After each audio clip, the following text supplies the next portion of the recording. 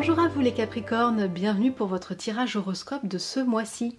Pour ce mois-ci, nous allons utiliser le Tanis le Normand, la seconde édition, qui est un jeu que j'ai réalisé. Donc vous le trouvez sur ma boutique, euh, sur mon site, dont vous avez la référence juste en dessous en barre d'infos. Nous utiliserons aussi le petit oracle des animaux de pouvoir pour savoir quel est euh, l'animal qui va vous suivre et vous accompagner tout au long du mois. Donc c'est un jeu que j'ai euh, co-créé avec Claire. Hein. J'ai fait l'illustration, Claire a fait les textes, Claire Duval. Et euh, l'oracle du messager qui est un jeu que j'adore, je vous en ai déjà parlé plusieurs fois. Alors l'oracle du messager et le petit oracle des animaux de pouvoir, je vous mets la référence de ces deux jeux juste en dessous en barre d'infos aussi si vous souhaitez les, retrouver, euh, savoir un petit peu, en savoir un petit peu plus sur ces jeux. Voilà. Alors, je vous invite à compléter ce tirage en allant voir votre ascendant ainsi que votre signe lunaire et n'oubliez pas qu'il s'agit ici d'un horoscope général donc forcément il ne peut pas parler à tout le monde mais euh, prenez ce qui vous parle, laissez ce qui ne vous parle pas. Voilà, et n'oubliez pas, bien sûr, de vous abonner à la chaîne pour être tenu informé de toutes les nouveautés, de tous les horoscopes et de toutes les futures créations d'oracles que je vais vous proposer. On commence tout de suite avec votre petit animal de pouvoir. Ce mois-ci, vous allez être accompagné par l'âne, les Capricornes. Peu importe les attentes et les injonctions de l'extérieur, je sais quel est mon chemin et je le suis avec détermination. Donc là, on vous dit vraiment de ne pas lâcher sur ce que vous vous souhaitez, ce qui est profitable pour vous. Personne ne vit votre vie à votre place et vous êtes le mieux placé pour savoir ce dont vous avez besoin. Donc ne vous faites pas influencer par les autres si vous, sentez que vous avez besoin justement euh, de cette énergie pour, euh, euh, pour garder le cap et ne, pas, ne pas être touché par les attentes et les injonctions des autres, vous pouvez vraiment travailler avec l'énergie de l'âne, utiliser cette carte en méditation ou à garder dans votre portefeuille, garder à proximité de vous pour travailler vraiment avec cette carte tout au long du mois travailler avec l'énergie de cet animal. Alors pour votre première semaine, on a la carte du renard, la carte de la clé et la carte prenez soin de tout ce que vous aimez. Alors je vais un tout petit peu ça. Voilà. Alors on voit qu'il y a un déblocage qui va se faire pour cette première semaine et sans doute lié alors soit à votre activité professionnelle si vous travaillez seul par exemple. Euh, la carte du renard c'est vraiment la carte de l'indépendant aussi, du travailleur indépendant. Donc peut-être justement que une opportunité de travailler en solitaire ou de, faire les choses par vous-même va vous être offert durant cette première semaine. Il y a aussi le fait de, euh, eh bien, de se retrouver un petit peu dans la solitude, une solitude que vous avez demandé et qui va vous faire beaucoup de bien.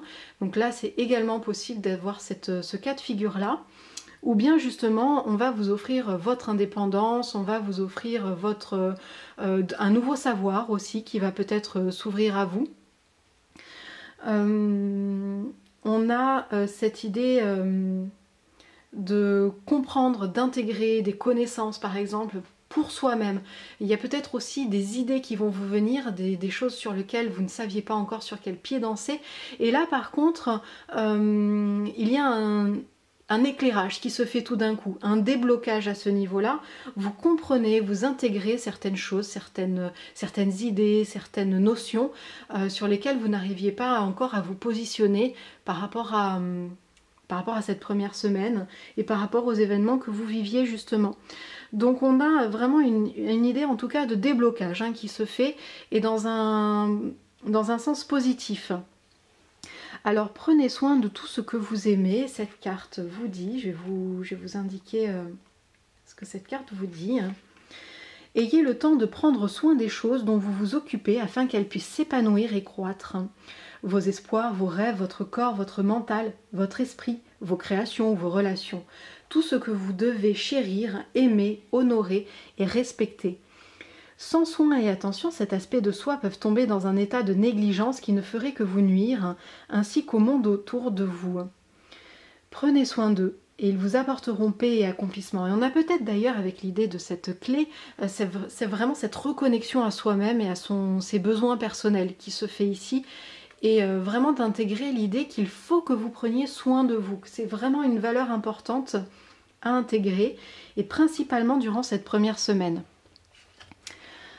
Alors, pour la seconde semaine, la carte du soleil, la carte la plus positive du jeu. Ah, vous allez avoir des nouvelles qui vont arriver sous forme écrite, sous, forme de mail. Euh, en tout cas, il y a des nouvelles qui se font, une communication qui est extrêmement positive. Euh, des messages que vous recevez qui sont euh, extrêmement positifs durant cette seconde semaine des messages qui vont vous apporter peut-être une réussite future aussi ou une réussite présente hein, si vous attendiez des messages quelconques. Mais en tout cas, c'est vraiment quelque chose de positif. Et on a aimé sans condition.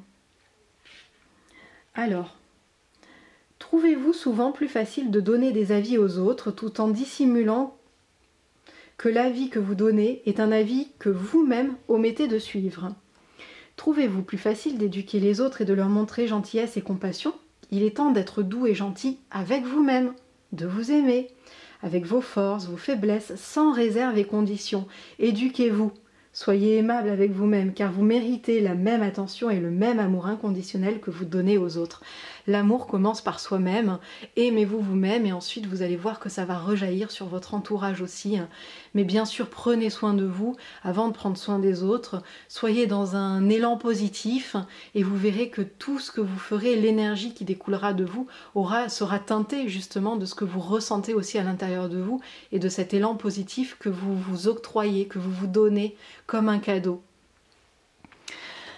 Alors, pour la troisième semaine, la carte du jardin, des rencontres, la vie sociale et la carte de, de la cigogne. Protéger ce qui est sauvage et naturel. Alors ici, on a euh, des mouvements, des déplacements sans doute pour cette troisième semaine, beaucoup de, beaucoup de rencontres, beaucoup de liens sociaux. Vous allez devoir sortir, vous allez devoir rencontrer des gens, vous allez devoir euh, être dans, un, dans le mouvement et dans un mouvement social, c'est-à-dire dans un mouvement de rencontre, de partage avec d'autres. Euh, on est loin de la solitude. Hein. Ici, au contraire, on est euh, vraiment en société et on fait les choses avec les autres, on rencontre. Et il y a cette idée de mouvement, donc d'aller à la rencontre. Hein. C'est vous qui initiez un petit peu ce mouvement. Et puis des rencontres vont en emmener d'autres aussi. Vous allez voir qu'il y a un mouvement qui va se créer dans ce sens-là, où euh, vous allez rencontrer une personne qui va vous présenter une autre personne, ou qui va vous proposer d'aller euh, faire ça, ou d'aller dans ce groupe, ou euh, peut-être va vous orienter aussi dans quelque chose qui vous correspond. Donc là, il y a beaucoup d'interactions sociales durant cette troisième semaine. Et avec la carte Protéger ce qui est sauvage en vous, on vous dit, vous êtes un gardien de la terre et tous ceux qui y vivent les arbres, les animaux, les oiseaux, insectes, habitants de l'océan bleu aussi. Il est temps de jouer un rôle actif en protégeant et en préservant ce qui est sauvage et naturel, en étant conscient de votre impact sur le monde naturel et en le limitant. Ce monde n'est pas votre possession, c'est un cadeau offert à vous et à vos enfants. Protégez-le en douceur.